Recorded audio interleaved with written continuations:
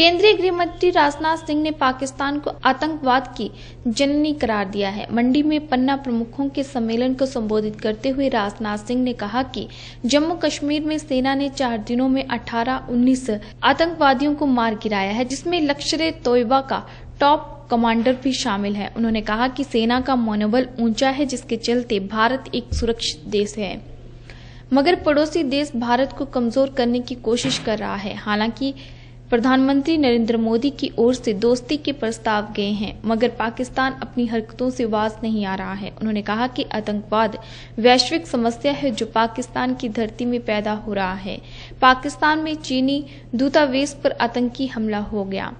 राजनाथ ने कहा कि पाकिस्तान ईमानदारी से सोचे तो भारत आतंकवाद को खत्म करने में सहयोग कर सकता है। गृह मंत्री ने कहा कि देश के 90 ज़िले नक्सलवाद से प्रभावित थे। मगर अब यह मात्र आठ ज़िले तक सिमट कर रह गया है। उन्होंने दावा किया है कि मोदी सरकार नक्सलवाद को तीन से पाँच सालों में पूरी तरह से खत्म कर देगी।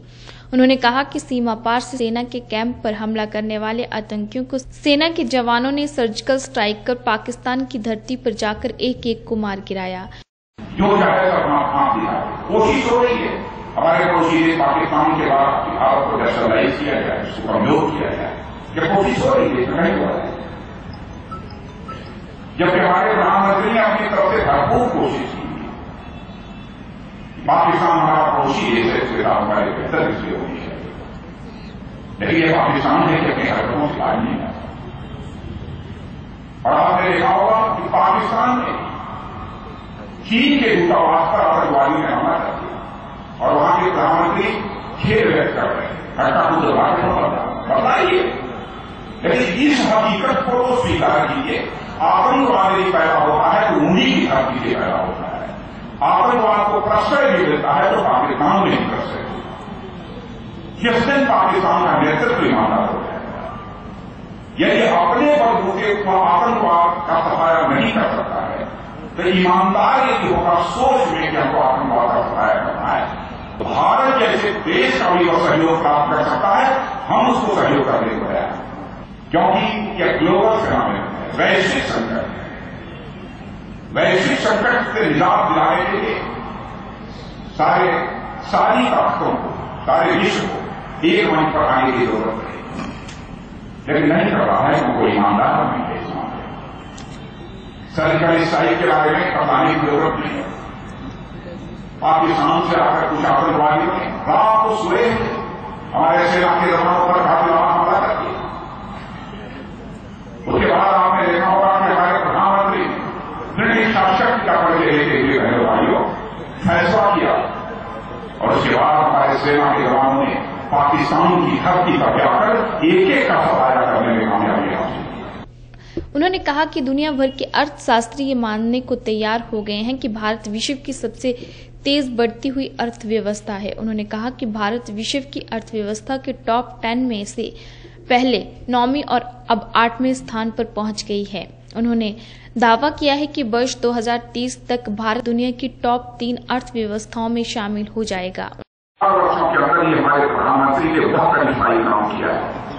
हमारा यह भारत दुनिया की दस बड़ी अर्थव्यवस्थाओं में जो नवे स्थान पर खड़ा था, आज वो उछलकर छठवें स्थान पर आ गया और मैं आज आपको बताना चाहता हूँ, अगले वित्तीय वर्ष में ही हमारा भारत दुनिया के टॉप फाइव कंट्रीज़ में होगा। और 2030 आते आते हमारा भारत यह दुनिया की टॉप थ्री कंट्रीज़ में आकर खड़ा हो जाएगा। ऐसा करिश्माई काम हमारी सरकारी सेवाएँ कर रही है। अंतर्राष्ट्रीय जगत में हमारी प्रतिष्ठा बढ़ी है। सभी सच्चाई को स्वीकार करते हैं। लेकिन कार्यकर्ता बहनों भाई आप भारतीय जनता पार्टी के कार्यकर्ता हैं, इस यथार्थ को भूलना मत। हम ये राजनीतिक पार्टी के कार्यकर्ता हैं। हमें एक अच्छे इंसान के रूप में व्यवहार करना है। यह बात हमको बराबर ध्यान में रखनी चाहिए।